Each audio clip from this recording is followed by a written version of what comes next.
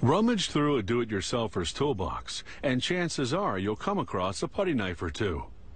They come in several widths, so whether you're scraping off paint, old wallpaper, or installing drywall, there's a putty knife that's the right size and shape for the job. These putty knife blades are made of steel that's flexible and durable, due in part to its high carbon content. Production begins with workers feeding steel sheets into a press, one by one. The press's cutting die punches out a blade for the type of putty knife they're producing.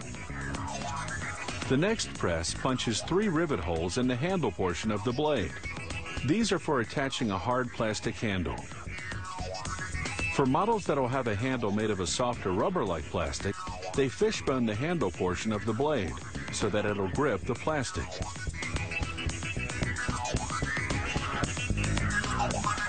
Steel has to be heat treated to gain its full flexibility and strength.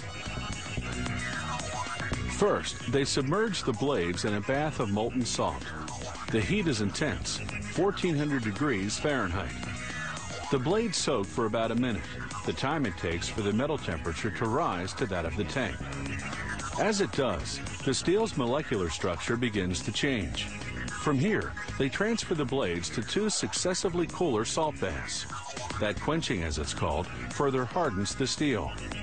The blades are then tempered in an oven for 8 hours at 400 degrees Fahrenheit. This gives the steel memory, meaning the blade will revert to its original shape when bent. After heat treatment, lukewarm water jets rinse off the salt residue and cool the metal to room temperature. Now that the metal has the required properties, the blades need the right profile. A worker lays them on a magnetic plate that angles them downward. The plate spins, running the blades against a grinding wheel.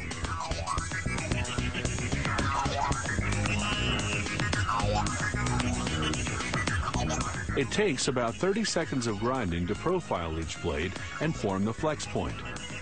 The thinnest and most flexible part that's one and a half inches from the end of the blade. Blade profiles vary because some jobs require a more flexible tool than others. Now they clean the blades in a revolving drum filled with absorbent sand. This removes oil and other residues left by the production process, and it preps the surface for the protective layer of lacquer that's applied next. After coating the blades in lacquer, they dry them in an oven. This seals the metal, preventing rust.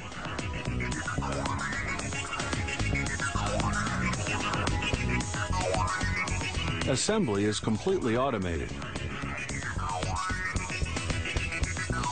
The first machine slips on the plastic handle.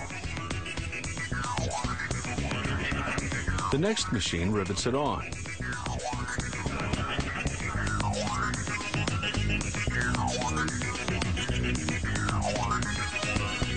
The following machine slaps on a label which identifies the size and type of putty knife. Professional quality putty knives have a thicker, stiffer blade. The handle is made up of two halves. The machine positions them onto the handle portion of the blade, then attaches them with a hollow rivet. This enables the knife to be hung up.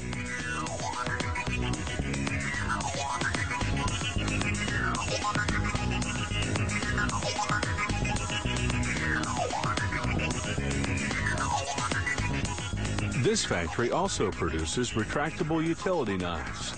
It puts the cast aluminum handles through a machine that uses polishing stones to remove any shards of metal. Workers assemble the utility knives manually, first installing the push button that moves the blade in and out. After putting in a spare blade, they close up the handle with one screw. This factory produces 150 different paint preparation tools for a wide range of uses, from scraping to filling to smoothing out tape on wall joints.